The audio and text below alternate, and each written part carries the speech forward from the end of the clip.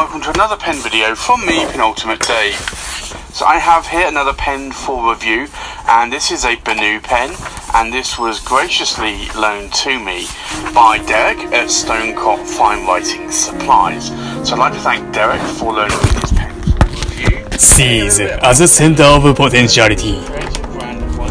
In an exciting paper, Rhawn Joseph describes a scenario of evolutions that is completely, completely outside of the Darwinian dogma. In this description, Joseph co- combines the discovery of the contemporary biology with the thesis of the Fred Hoyle and uh, Chandra Wickramasinghe that uh, life originally came to this planet from outer space. Yay! From outer space carried by the cosmic de- debris or dust and meteorites. The first microbes to arrive on Earth, Joseph described, contain the genetic machinery for growing the tree of life. Wow, such a romantic story. They also changed the planet in a way that created, created the right living conditions, altering, altering the womb of the planet so this seed could grow branches and bear, fr- uh, bear fruit in the, in the form of increasingly complex species. The term metamorphosis, uh, the term metamorphosis, metamorphosis derives from the Greek and denotes a, a transformation of some sorts. The Greek morph means form, and the uh, prefix meta has various meanings among them uh, beyond.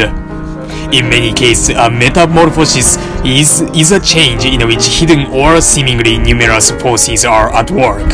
Ha, forces.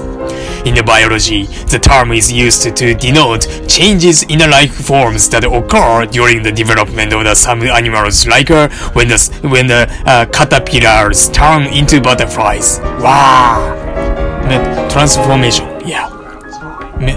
When we look at such a metamorpho- metamorphosis, we don't think that an, an evolution, uh, eh, uh, we don't think that an evolutionary process is at work that evolves one type of animal from one another.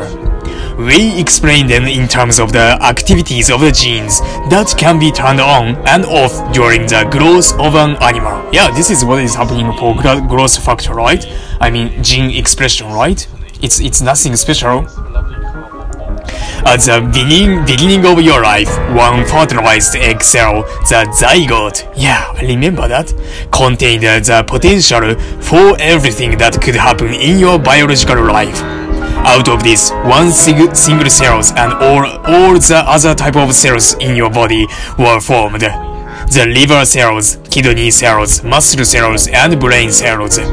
We don't look at these cells like they are different animals or species that evolved by chance out of a community of the cells and somehow survived in a struggle for life.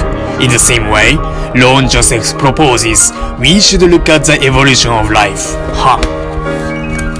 Like the development of an embryo and like the metamorphosis of the caterpillars. Evolution is under genetic regulatory control. Wow.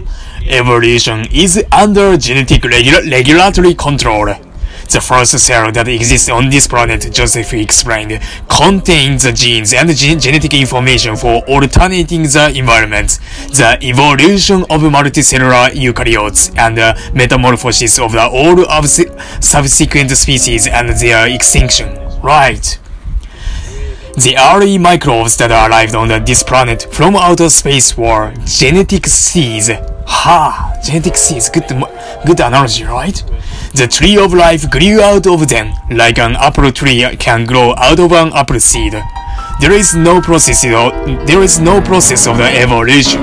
There is only an actualization of the potentiality contained in the seeds before it is actualized. Wow.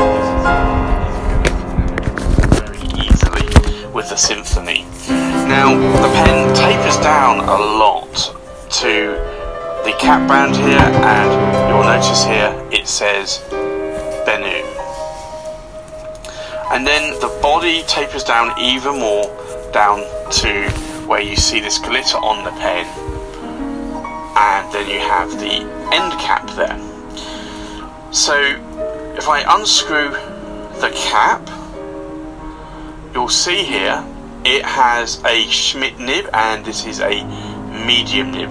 This is a number 6 size nib.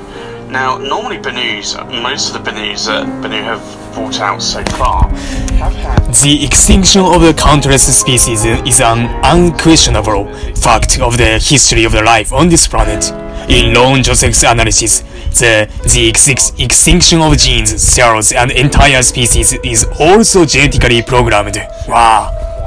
When a tree grows and loses one of its branches, we don't look at this as a result of the aggression of the other branches that are striving for biological fitness. In the same way, countless species fell off, fell off of the tree of life, like programmed cell death. Yeah, uh, apop- apoptosis, right? Apoptosis. Joseph, Joseph explains extinction is often intrinsic to, to and necessary for the development, evolution, and metamorphosis of uh, increasingly complex species. Right. Now, you can post the cap as well if you are a cap poster, and it will actually sit there quite nicely. Now, the glitter here is not on the surface, so this is at least a couple of layers under the surface, and it's lacquered, so you are probably not going to actually scratch that up, but I still am not a cap poster myself, so normally I would prefer not to post a cap, but I this pen it should be fine. Joseph describes an extinct. Uh, Joseph describes an exciting aspect of the process when he says that uh, life doesn't actualize outside of the cosmic order, but instead, instead, new species emerge emerge in the interaction of existing species with the environment. Wow. Signals from the environment influence genetic uh, influence genetic activity. Let me repeat it again. Signals from the environment influence uh, uh, genetic activity. Genetic, genetic activity in turn can affect the environment, of course, and the environment changes can influence what forms of life will actualize and what forms will be eliminated. Right. For example, micro, uh, microbial activity at an earlier stage in the history of this planet changed the environment by increasing the con- con- concentration of oxygen in the global atmosphere. Right? Yes, yes, of course. Uh, you know, uh, uh, oxygen molecules were toxic for many, many animals. But somehow, uh, uh, uh, small lives adopt to this environment. Life is an expression of the cosmic potentiality. Thus, I think that it is actualizing in many places in the universe. In this process, uh, in, in this process, life on Earth is a Joseph could describe it just a, just a sample of life evolutionary possibilities. Just a sample of life's evolutionary possibilities.